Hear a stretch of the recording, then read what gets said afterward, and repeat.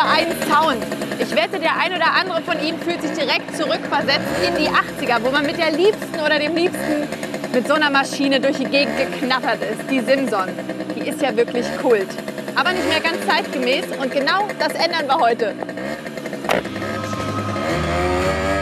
Bisher läuft ein Moped wie dieses mit Benzin und ist zugegeben nicht wirklich umweltfreundlich. Doch das soll sich heute ändern.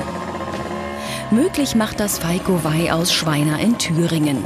Er hat hier eine Werkstatt für motorisierte Zweiräder. Also Feiko, das fetzt schon. Das macht Laune, ne? Das macht Laune. In einer alten Pfeifenfabrik liegt das Reich des Maschinenbauers. Ja, und das Besondere ist, hier in dieser Werkstatt, der Feiko, der repariert und tüftelt nicht nur an alten Mopeds rum, sondern die kriegen auch einen Elektroantrieb. Feiko, erzähl mal, wie bist du denn auf die Idee gekommen? Also ich nicht alleine, das waren wir zu zweit. Mein Neffe aus Baden-Württemberg und ich. Ist das der Neffe? Und das ist mein Neffe, genau. Hallo. Hallo. Ihr zusammen hattet die zündende Idee zu sagen, das machen wir jetzt. Genau. Also Benjamin hat irgendwann mal angefangen und hat diese kleinen chinesischen Roller äh, versucht umzubauen auf Elektroantrieb. Also ich bin Lehrer in Baden-Württemberg an der Berufsschule und dort haben wir eben den, das neue Thema Elektromobilität aufgreifen müssen. Da war für mich die Frage, wie kann ich Schüler motivieren, dass sie sich für das Thema interessieren. Ja? Und da habe ich mir gedacht, naja, so ein Roller, so ein Moped umbauen auf Elektroantrieb. Da hat man dann was in der Hand und kann dann auch spüren, was es heißt, elektrisch zu fahren. Du hattest die Idee und dann hast du dir gedacht, Mensch, das können wir doch auch für die Simson machen. Simson machen. Ganz genau. Die Mopeds, die in Feikos Werkstatt kommen, sind über 40 Jahre alt und werden seit 1980 nicht mehr produziert. Weil die Maschinen sehr robust sind, eignen sie sich gut für den Umbau. Das heißt, so eine Maschine kriegt von dir einen Elektroantrieb. Was genau bleibt denn? Was wird umgebaut und was kommt richtig weg? Wegbleiben tut nachher der Verbrennungsmotor. Das Hinterrad wechseln wir gegen ein Hinterrad mit Radnabenmotor. Den Auspuff brauchen wir nachher nicht mehr. Die, Gangschaltung? Nein, eine Schaltung in dem Moment gibt es auch nicht mehr, weil wir in dem Herzkasten nachher die Steuerung haben. Und da hängt ein Gaspedal quasi mit dran. Und das tauschen wir dann aus gegen das vom Verbrennungsmotor. So ein Simson-Moped hat Feiko zerlegt und alle Teile für den Umbau vorbereitet. Und Feiko, du bist dir sicher, dass wir das zusammen schaffen, dass ich da die richtige äh, Frau für bin? Ich habe mir zumindest extra schon mal so ein bisschen so eine also coole Rocker-Kluft Dein, angezogen. deine Arbeitsbekleidung ist, ist spitzenmäßig. Und ich habe mir schon immer gewünscht, mit so einer hübschen Frau so ein Moped zu bauen. Nein, ach du alter Charmeur, dann lass uns anfangen. Und vielleicht schaffen wir ja noch eine Spritztour, wenn wir fertig sind. Äh, Das mit Sicherheit. Ja? Das muss sein. Ja. Rund 75 Prozent der Teile sind original, der Rest neu. Wie Feiko das alles zusammenbekommt, sehen Sie nach dieser Erfindung. Zurück in der Werkstatt im thüringischen Schweiner. Feiko Wei verpasst gemeinsam mit Henriette einem Simson-Moped einen Elektroantrieb. Die Rahmenteile hat der Tüftler von einer alten Maschine aufgearbeitet. Einige Teile aber sind ganz neu, wie der Lenker. Doch nicht, weil der alte kaputt war, Wir brauchten einen Lenker, der die TÜV-Zulassung hat, wo aber alle Komponenten drauf passen. Ne? Also wir haben ja jetzt hier eine Scheibenbremse dran. Ne? Wir brauchen die Armaturen für Aufblenden, Abblenden, für Blinker. Und wir brauchen aber auch noch den Einschaltknopf für die eigentliche Elektronik. Ne? Und der normale S50-Lenker ist hier von diesem Schenkel her ein bisschen zu kurz und da passt das alles nicht drauf. Und dann haben wir so lange gesucht, bis wir den jetzt gefunden haben. So, du hältst jetzt mal bitte den Ja. Lenker hier. Ich komme mal zur anderen Seite. Genau. Dieser Umbau ist der zweite, den Feigo bei einer Simson S50 für einen Kunden macht. Das Moped hat fast 40 Jahre auf dem Buckel, zumindest entscheidende Teile davon. Etwa 50 einzelne Elemente müssen Henriette und Feiko jetzt zusammenfügen. Da gilt es, den Überblick zu behalten. Das muss man erst mal wissen, wo kommt welches Teil hin. Ja, gut, ich bin, ich bin ja vom Beruf Maschinenbaumeister und äh, in so einem Moped steckt eigentlich eine gewisse Logik. Ne? Und äh, wenn man das gelernt hat, dann fällt es einem mit Sicherheit relativ einfach, äh, dann auch die Abfolge zu verstehen, was man als erstes machen muss. Und wenn man es natürlich zwei, dreimal gemacht hat, dann weiß man grundsätzlich eigentlich dann schon, was sich am besten an welcher, zu welchem Moment quasi montieren lässt. Ne? Nach rund einer Stunde ist der Grundrahmen fertig. Bei einer herkömmlichen Simson würde Falco jetzt den Zweitaktmotor einsetzen. Doch beim E-Modell kommt an diese Stelle ein Batteriekasten. Hast du den selber zusammengeschweißt oder wo hast du den her? Den habe ich quasi selbst konstruiert und auch zusammengeschweißt, weil er muss im Prinzip hier hinten genauso geartet sein wie der eigentliche Motor, weil wir die Motoraufhängung, die wir ja schon haben am Moped, quasi benutzen wollen. Und dann haben wir das halt auch so gelöst, wir brauchen hier den Schwerpunkt, ne? genau da, wo der Motor gesessen hat. Ne? Und da setzen wir auch den Batteriekasten hin. Wie lange hast du gebraucht, um das zu entwickeln, dass es die Größe hatte, die Form, dass es funktioniert? Also das, das ist bei mir meistens so, ich muss, da, ich muss da immer eine Nacht drüber schlafen. Und meistens kommen mir die Ideen dann immer nachts. Und dann, ja, dann funktioniert es auch noch.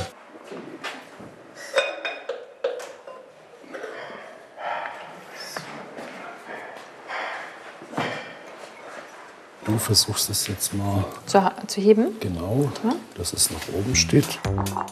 Das Vorderrad ist ein Standard Simson S50-Teil. Interessant wird es beim Einbau des Hinterrads, denn da steckt jetzt der Elektromotor drin. Jetzt müsste vielleicht der Benjamin noch mit dazu Ja, dann holen kommen. wir den. Benjamin!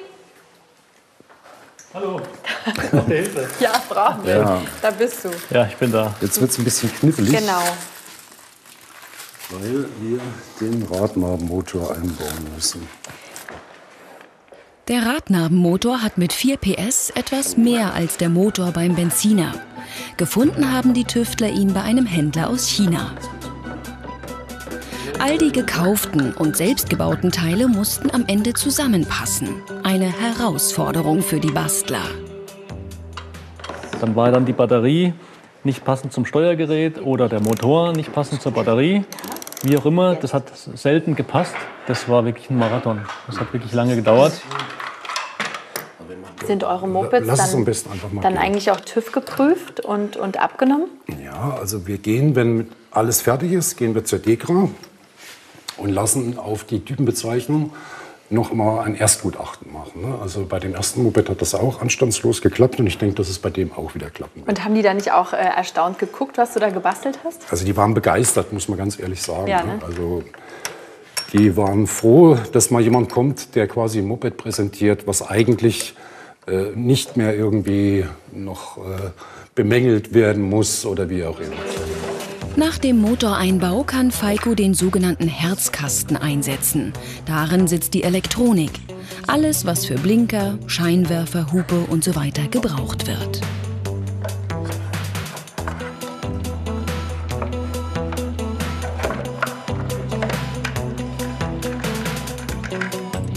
Auf der anderen Seite installiert Falco die Elektronik, die für den Antrieb zuständig ist.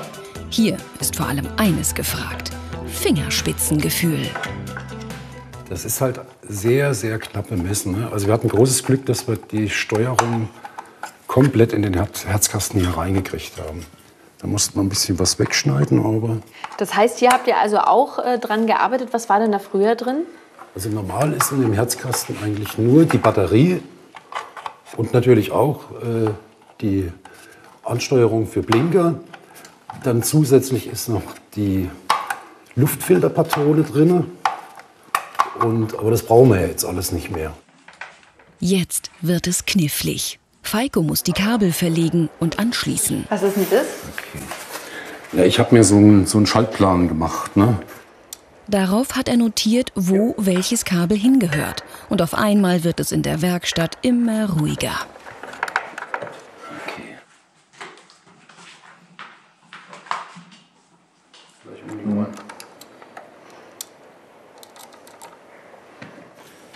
Ist jetzt der Punkt gekommen, wo du nicht mehr reden kannst? Ja, jetzt äh, muss ich mich auf das Ganze konzentrieren hier. Okay. Und ich kann es, ich weiß, Frauen können, können beides. Ne? Denken und sprechen und Denken und sprechen. Ich hoffe, dass du das auch beides kannst, parallel.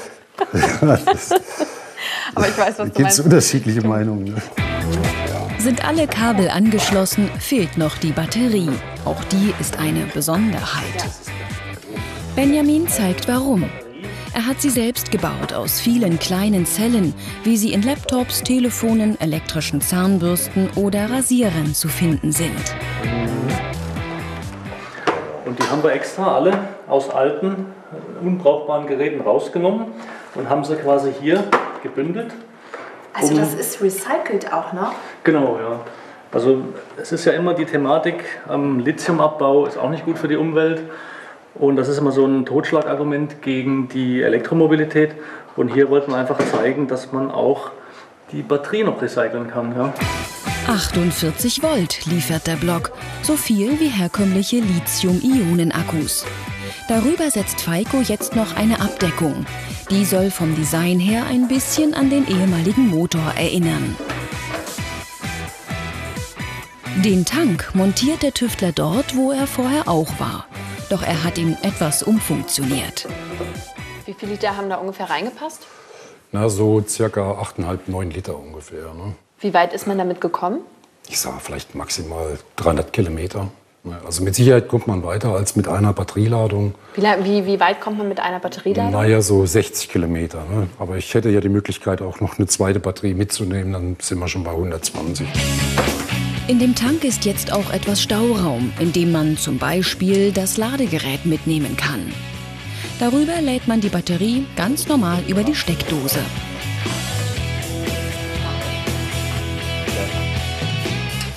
Als i-Tüpfelchen schraubt Henriette am Schluss noch eine Original-Simson-Zündkerze ein. Nur für die Optik und ein bisschen Zweitakter-Feeling. So, fertig. Sieht sehr schön aus. Ja, schick ist geworden. Ob auch alles an dem umgebauten Moped funktioniert? Sehen Sie nach dieser Erfindung. In der Schrauberwerkstatt in Thüringen ist aus einem alten Simson Zweitakter ein modernes E-Moped entstanden. Wenn Feiko Wey und seine Helfer beim Aufbau nichts falsch gemacht haben, sollte jetzt alles funktionieren.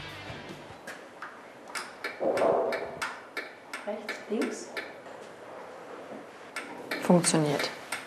Gib mal Gas.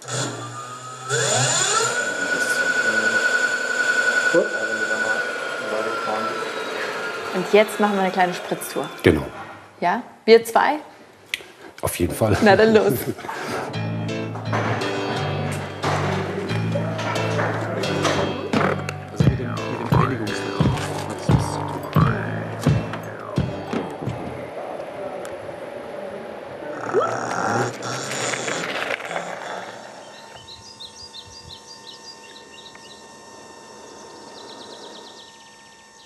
Mit 4 PS ist die E-Simson leistungsstärker als das Benzinmodell mit seinen 3,6. Zudem ist sie abgasfrei und fast geräuschlos.